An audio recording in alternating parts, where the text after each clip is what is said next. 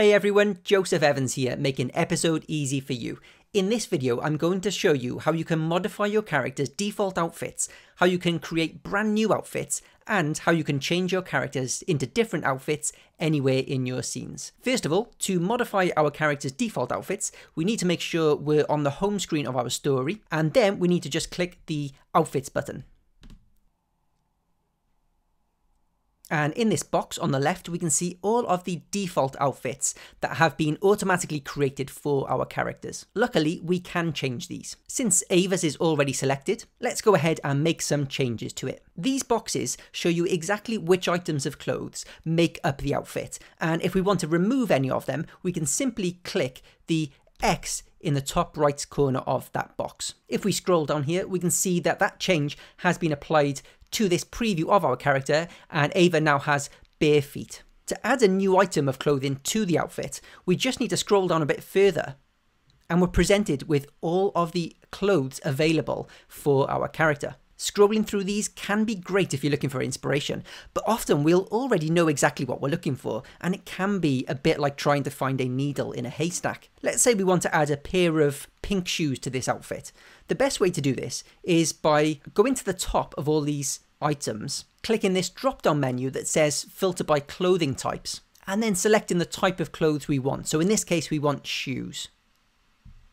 Now, this still brings up a lot of results and we specifically want pink shoes. To show only pink shoes, we can go over to the filter by colours drop down menu and just select the colour pink from the list. Now the one thing you'll notice is that it appears to have brought up a load of white shoes as well as pink ones. But these are actually not white at all. When you see an item of clothing that has one of these colour wheels, in the top left corner, it means that it comes in a variety of colours that you can choose when you select it. If we click on one of these, it will show us that pink is one of the options, which is why they're included in our search result. But let's go down and choose one of the non-multicolour options. How about these pink sneakers? And if we scroll back up to our avatar, we can see that she is now wearing those pink sneakers. To go with the pink sneakers, let's also change this dress by removing it by clicking that X in the top right corner of its box and then let's say we want to give her a pair of shorts. We could use these drop down menus again to filter by clothing type and colour. Or another way to find exactly what we're looking for is to simply write it in this search for a clothing box. Let's type the word shorts. Now, what this should do is show us all of the shorts available, but it is telling us that no clothing matched the search. This is something that can be confusing because, of course, there are shorts available. And the reason why it's telling us this is that we still have our filters on from our previous search. So it's actually trying to find shorts within the shoes category, which is never going to be able to do. To clear these filters from our previous search, we just need to go up to the top of this drop down menu and click clear all clothing filters. And then to do the same for colors, just click that drop down menu again and clear all color filters as well. And now it is showing us all the available shorts. Let's give Ava this belted ombre shorts denim Oxford blue. And then let's do a quick search for a hoodie as well, maybe.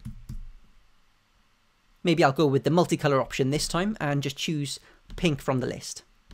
Okay, we have now successfully changed Ava's default outfit. And before we do anything else, we just got to make sure we click the save button at the top above the avatar. And we get this pop-up box telling us that our outfit was successfully saved.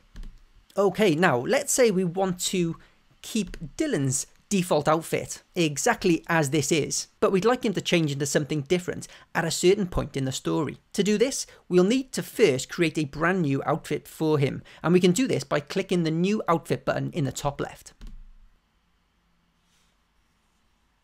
And we can name our new outfit anything we want, but it's good practice to follow episode's own naming convention, where the character's name is at the beginning of it. For instance, if we want to create a smart casual outfit for Dylan, we would write Dylan in all capital letters, then an underscore, then smart underscore casual. The reason it's good to put the character's name at the beginning is that it makes our lives a lot easier further down the line. Once we've written a few chapters, we're probably going to have a lot of different outfits for each character, and it can get confusing knowing whose is whose. Also, the reason why we need to have underscores in here is that it does not allow you to have spaces, so underscores are the next best thing. Let's go ahead and create this outfit by scrolling down And you'll notice that even though we're creating a new outfit for Dylan, it's actually by default showing us all of the women's clothes. To change this to men's clothes, we just go up to the top of the items and click this drop down menu that says for generic female and change it to generic male. Let's give Dylan some kind of shirt by just typing the word shirt in the search box. And let's go for this open flannel design. Let's give him a pair of jeans as well by just typing the word jeans into the search box. Uh, maybe let's give him this worn ripped jeans denim Oxford blue. And then he's going to need some shoes as well to complete the outfit. Let's just type in maybe some boots would look good with this outfit. And maybe these ankle boots in blue grey. Now if we scroll back up, we should be able to see our full avatar in the new outfit. Now, the portal has recognized for me that this is an outfit for Dylan, but sometimes it can get it wrong. It can show you your outfit sometimes being modeled by the wrong character. If this does happen, all you need to do is go up to the top and click this drop down menu that says character and then your character's name, and just select the character you want to be the model for the outfit. Okay, let's save that one. And now let's go back to our script by clicking the back button in the top left and then choosing our chapter. As you can see, I've already created a couple of example scenes here to show you how we can change outfits in the middle of a chapter. I'll just play this for you. First of all, let's just hide these boxes by clicking navigation and then hide debug elements. So we're in our school hallway and we have Ava asking Dylan if he wants to hang out at the skate park after school. Dylan likes the idea but he says he wants to pop home first to get changed. Ava says she'll wait there for him, then it cuts to a black screen with the narrator telling us some time has passed, and then we cut to the skate park where Ava is waiting for Dylan as he arrives and she asks him what took so long. But as you can see, Dylan is still wearing his default outfit. So in a situation like this, how do we get Dylan to change into the new outfit we created earlier? Luckily, it's super easy. All we need to do is go to the part of the script where we want our character to change let's say right at the beginning of the skate park scene, just before Dylan enters. Just create a bit of room down here, and then we're going to want him to change exactly at this point. So to get him to change outfits right here, we just write at, then the character's name, then the words changes into, and then the name we gave our outfit, which was Dylan underscore smart underscore casual. Let's see if that works.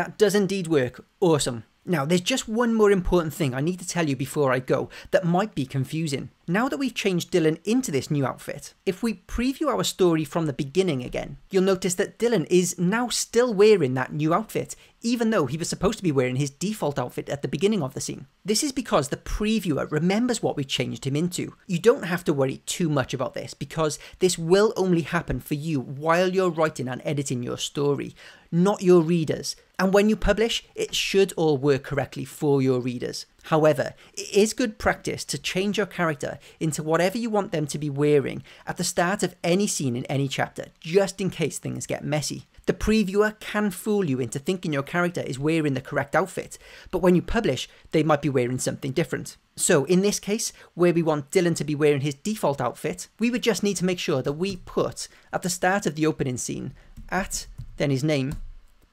changes into Dylan underscore default. That should ensure that we always get a correct preview that accurately matches what our readers will see. Let's just check.